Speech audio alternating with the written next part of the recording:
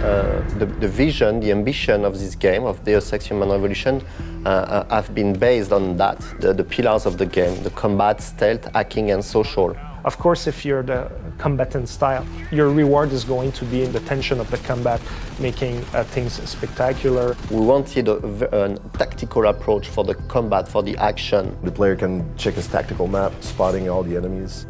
We wanted to make sure that the player had at the time to observe the situation. So that's why we included the cover system.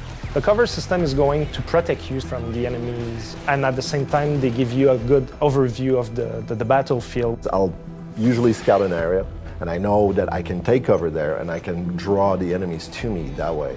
And I put a mine. We have the system where you can, take, you can actually take a, a mine template thing, but you combine it with an explosive device, like a grenade, a frag grenade. So You combine it in your inventory, it becomes like a, a frag mine. Then when they get really close, the mine triggers by itself. They go. You have different kind of guns, uh, weapons, and everything. The signature weapon is the is the combat rifle. I love the way that we designed the, the reloading. I love the way that, that it looks and that it fires with the silencer. It looks so dope with the silencer on top of it. The revolver is one of the most powerful weapon we have in the game. It's a revolver, so it kicks back and people go flying. And its upgrade naturally is exploding rounds.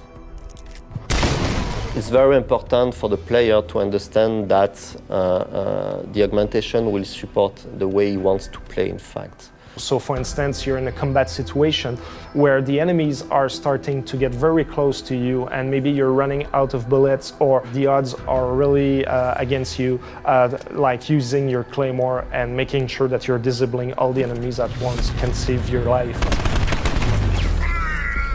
because you want to be able to use those cool weapons and you, you know you want them to be uh, quite efficient. So I'm also going to get the strength AUGs and all the, the, the, the anti-recoil AUGs. Also like the X-ray, uh, gave it as an example for stealth, but X-ray can be also really useful for combat because you can see where the enemies are taking cover or if one is flanking, trying to flank you and you can spot him behind an object or, or a wall. The core aspect of, uh, of Human Revolution is you're never tied to a specific gameplay type. You could play that game uh, four, ten times and you will play it differently. And you will, you will for sure, you will want to try something new, you will discover something new.